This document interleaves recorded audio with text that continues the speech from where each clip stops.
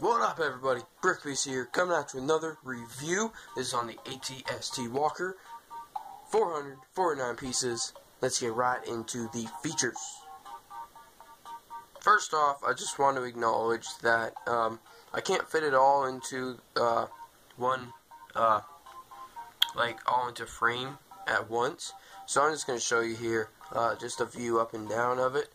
So there's the legs there. I can't really show you that all in one frame with the head. So there's that. So first off, I'm going to start on the feet here.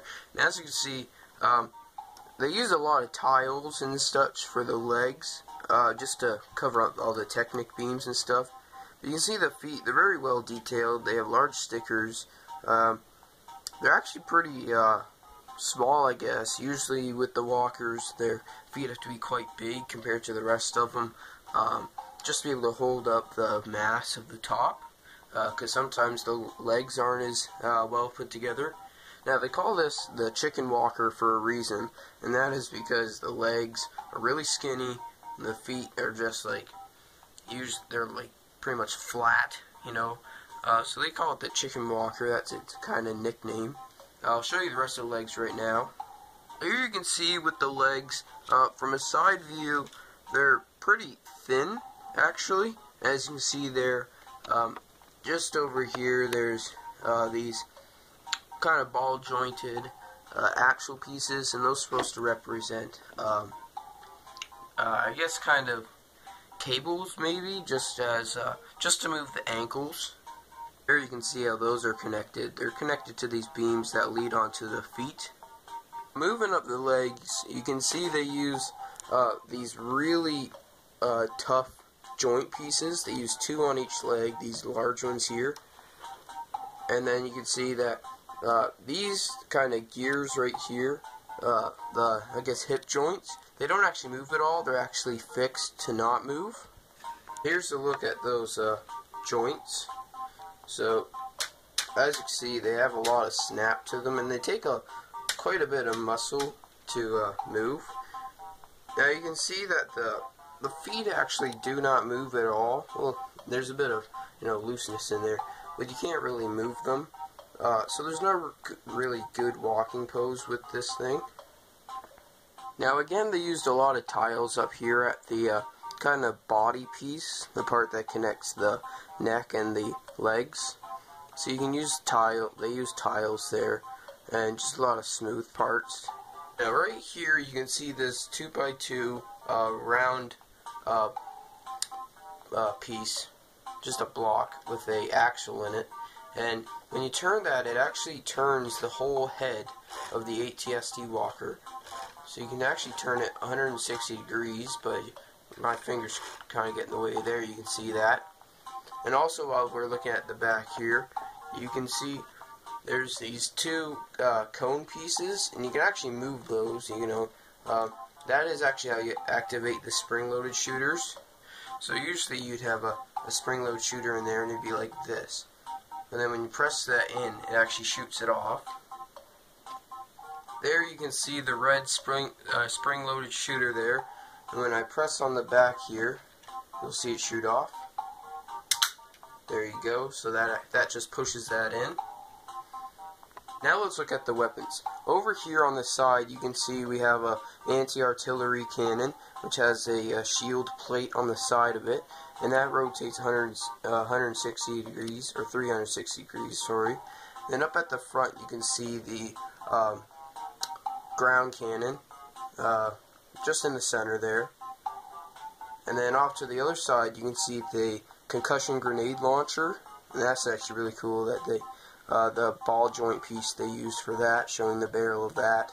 And they're connected by uh, the, these hammer pieces, these black hammer pieces. You can even turn them from here, so you don't even have to have your fingers on them. So that's actually very nice. Now, looking at the face of it, you can see uh, they got the very nice angles here. The, the side panels have nice angles to them, and I'll show you that when we look at the inside. And they have the deflector shields um, on the top of it there. So there that is. You can see the deflectors that actually, uh, they never show it, but they're supposed to close up, I'm pretty sure. uh, just like that, in case there's any um, any heavy fire. Uh, but other than that, you can just see it there from the front, uh, the top hatch as well. So you open that up, it just hinges open, and you can actually uh, um, you can actually put your ATST pilot in there. So I put him in. So you can just sit him right in there, and he just stands there. You can put a blaster in his hand. And if you have Chewbacca, you can recreate the scene from Return of the Jedi where Chewbacca uh, uh, sits in there and looks out the top of it. When we take him out, you can also see there, uh, when we close it back up, that the whole top hinges open. That's how we'll look at the inside right now. Now looking at it from the inside, you can see there's a um, thermal detonator there, and there's also a jumper piece there where you can put his uh, uh, the ATST pilot's blaster. You can see they use this uh, Lego Friends uh, foot grip piece there. So you can put that in there, and there's also that control panel. I'll put the ATST pilot in there now. So there he is there. Now it is quite uh, off scale because there is supposed to be two seats, uh, but there's only one in this model, but that's okay. If you have enough light, if you open the hatch, you can see the pilot in there through one of the uh, the kind of eye-shaped windows. That's all for the ATST. Let's get right onto the minifigures. First minifigure we have here is the ATST pilot. Um, first off, I just want to tell you that the helmet is supposed to have uh, printed goggles on there, but I lost that piece, so uh, I just put the older version's helmet on there. Same piece, just the newer one that actually comes with the set has a print on it. You can see that from various pictures of the set. Anyways, he just has a short uh, blaster there uh, in case he, like, you know, you put him in the top hatch uh, in case he has to manually shoot people. Uh, as you can see there, his torso print is very nice. Uh, it's got some of that kind of jumpsuit look, kind of skydiving suit look. You can see his face print there. He looks very serious with his goggles on and a chin strap. You can see his second-sided face. Also, there's his back printing. The second minifig we've got here is the uh, Rebel Trooper. He's just, he has no name, just Rebel Trooper. As you can see here, uh, he's got this brand new helmet. It's gunmetal gray helmet. Um, kind of just like uh, an old uh, uh, just like a hand-to-hand -hand combat uh, helmet, so you can tell that he's not going to be like in a ship or anything. He's going to be on the grounds. No double-sided face with him, but you can't see his back printing there. It's pretty nice. Can't really see it, but uh, there is some leg printing there. It's uh, use the dark brown color, so it is kind of hard to see against the regular brown. But you see he has a belt there printed on the uh, the T-piece that connects the that connects the legs to the body. The last minifigure we have is Baze Malbus, and Baze is from Rogue One. He's actually one of the uh, temp the Jedi Temple on Jedha. He's one of the um, what do you call it? Like kind of like the Temple guards. He's he's uh on Jedha, the plateau of Jedha. He is uh, what are they? I don't know what they call them. They're they're pretty much guardians. Him and Chirrut Îmwe. Uh, they're the last ones there. So he join he joins Rogue One, but I won't spoil it for you. Uh, I'll have to let you see the movie. Anyways, he comes with his big brooding, uh, like hand. It's it's a handheld gun, but it's it looks like chunky enough to have to have like a stand on it. But anyways, on the side of it, there's a a chain that's just supposed to represent um, kind of like a bandolier of ammo. Uh, that goes into a backpack thing he has here. Uh, uses red pieces. I actually like how it's red. I'm glad they didn't just make it like brown, but that wasn't even Lego's choice. That was the designers of the movie.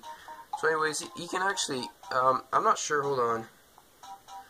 So he can actually uh, have his gun stand or uh, lifted because his backpack kind of uh, counterlifts the weight. Usually if they didn't have the backpack, he'd just be falling over. You can see there's a red um, one by one plate on the side of the gun. And there's also a black roller skate piece on top of the gun there. now let's focus on his face. I'll take that um, other stuff off.